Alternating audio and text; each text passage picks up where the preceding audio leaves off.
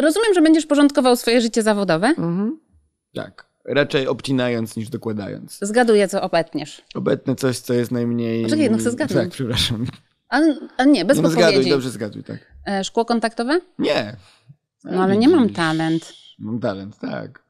Żartujesz. Nie, O, Chyba po raz pierwszy to mówię tak w miarę publicznie, więc nie wiem, czy. Znaczy zamierzam. No, noszę się z takim, z takim, z takim. Chodzi mi o to, że chcę odrzucić z mojego życia zawodowego te rzeczy, które służą mi, powiedzmy, napełnianiu portfela i, i, są takie mało, niespecjalnie wnoszące coś do tego życia i takie, w których nie gram na siebie, tylko na jakiś program, instytucję, telewizję czy cokolwiek. Jakby chcę pójść w kierunku, tak, bardzo buńczucznie to zabrzmi, po prostu jakiejś mimo wszystko niezależności, robieniu y, dobrze sobie, a nie innym dookoła. Mm, No i, i tak. Więc e, zamierzam no, wyczyścić głowę trochę, bo, bo to są takie rzeczy, które nie zajmują wbrew pozorom dużo czasu. No, tak, tak na zasadzie w ciągu roku to nie jest tak, że udział w jakimś programie rozrywkowym to jest, prawda, robota od poniedziałku do piątku albo w ogóle Mhm. przez cały tydzień, ileś godzin dziennie. To jest, to, to jest skandalicznie mało czasu w stosunku do na przykład pieniędzy, które się za to dostaje, ale poziom takiego zaangażowania gdzieś w głowie, oczekiwań, stresów i też takich wizerunkowych różnych powiązań jest duży. To, to, jest, to jest intensywne. I... Czyli wybierasz wolność. Wybieram Jakąś. wolność, chcę sobie y, zafarbować włosy i, Jak Filip Heiser. i robić. Ale nie, on źle zafarbował, brzydko. Brzydko. Brzydko, ja lepiej zrobię to. E, Na i- czerwono, jak Michał Nie, Wiśniewski. zrobiłem tak, miałem 15 lat, bo żałowałem potem.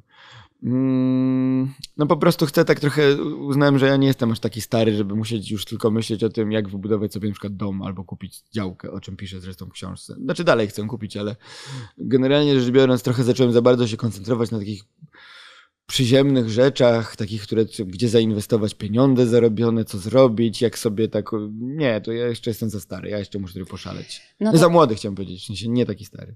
jestem bardzo ciekawa, co Mm. cię do tej e, decyzji skłoniło. To znaczy, rozumiem, Mm. że to był proces, ale jednak decyzja musiała być trudna, bo ja nawet obstawiłam ten drugi program, No. ponieważ e, uznałam, że jeżeli. To nawet nie chodzi o ciebie, No. tylko sobie pomyślałam, że jak się jest w tej machinie telewizyjnej i ma się faktycznie w zasięgu e, duże pieniądze, a są chyba Ale to całkiem... jest jedyne, wiesz, Mhm. chodzi mi o to, Ale że... wiesz, no dla wielu osób to by była bardzo trudna decyzja. No Właśnie tak, ale z tego drugiej strony po to to robisz, żeby, mu, żeby móc je mieć i potem nie, nie musieć ich chcieć więcej. Znaczy, bo, bo inaczej wpadniesz w jakąś taką matnię, taką, którą moim zdaniem wpadają ludzie pracujący w telewizji, to znaczy chcę więcej, więcej, więcej, więcej.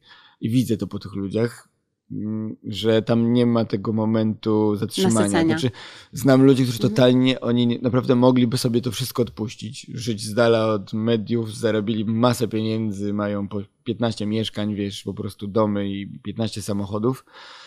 No i w tym momencie po co ci taki, wiesz, yy, po, po co ta uwaga mediów? Po prostu to jest ciągłe jakieś, jakieś tam ryzyko, jakiś stres, jakiś ciągle jesteś na świeczniku, nie możesz sobie na pewne rzeczy pozwalać. No i, no i na, myślę, że to jest po prostu jakiś też rodzaj znowu uzależnienia, więc Mhm. nie ma co tego uzależnienia hodować. No, Hmm.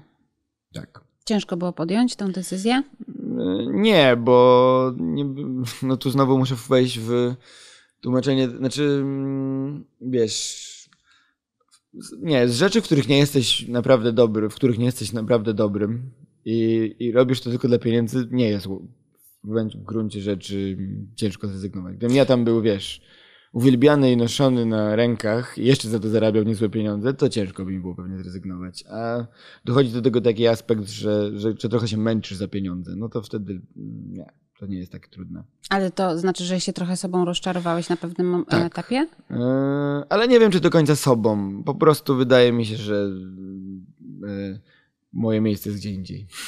Jakkolwiek to nie zabrzmi. Ładnie to brzmi. No bo wiesz, jak robisz kilka rzeczy, jedna ci nie wychodzi, to może warto się skupić na tych, które wychodzą i nie, nie, nie próbować na siłę być gdzieś, gdzie może po prostu to nie jest naprawdę wielka potwarz dla człowieka być nie najlepszym prowadzącym program rozrywkowy w telewizji. Są gorsze rzeczy, które można robić. No, Mm. ale wiesz, to też jest tutaj praca nad swoim ego, bo Tak. jednak wybrano cię, jesteś tym Mm. szczególnym No tak, człowiekiem, no i- którego postawiono na scenie, działasz Mm, e, i no wiesz, tak. no, możesz, można, może od tego sodówka jakaś się pojawić. Nie twierdzę, że u ciebie była, Mm. ale jakieś poczucie e, podbicia własnej wartości, a tu znowu wracamy do tematu, że to było, jest gdzieś ważne. Bardziej, ba, bardziej wiesz, o tyle to jest decyzja może trudna, że rezygnujesz z takiego, no a ja im jednak pokażę, ja się, ja się nadam, ja, ja, ja, Mhm. ja, ja będę lepszy, ja to am- ambicjonalnie do tego podejdziesz, nie, dam nikomu e, jakby myśleć, że to jest jakaś porażka, że a, trzeba się przyznać czasem do takich jakichś, właśnie nie porażek konkretnie, Mhm. bo nie nazywam tego porażką, ale czegoś, że no, nie pasowałem do końca, nie byłem tam taki, jaki powinien być taki prowadzący, a poza tym, nawet jak momentami byłem, to mnie to za dużo kosztowało i nie byłem sobą i za bardzo się musiałem do tego naginać. Mm, No. Nie byłeś sobą, bo musiałeś wchodzić w rolę. Ja ogólnie lubię wchodzić w rolę i No czasami właśnie. wchodzę nawet w nie bardzo dobrze, ale w Mhm. tamtą jakoś mo- nie potrafiłem. Coś ci nie leżało. Tak, no są takie role, w których nie A da ja myślę, że dlatego ci nie leżało, że, mm, że to był duet i że były dwie silne osobowości. Na pewno też, ale... Z całym szacunkiem do drugiej osobowości, zupełnie bez żalu. Mhm. Z pewnością, Dwie super. z e, pewnością też tak było, Mhm. tylko że no jak jedna ma już 13 sezonów za sobą i totalnie taki poziom zaufania olbrzymi ze strony widzów, produkcji, wszystkiego dookoła, to ciężko, to, to, to musisz naprawdę walczyć o tą swoją pozycję. A ja nie jestem typem niestety walczaka, raczej jestem taki, że albo mi się coś uda i trochę tak samo wszystko przychodzi, albo wolę odpuścić, no bo rzeczywiście emocjonalnie by mnie to bardzo mocno angażowało, to ciągłe Mhm. takie tam, takie, taka walka o swoje.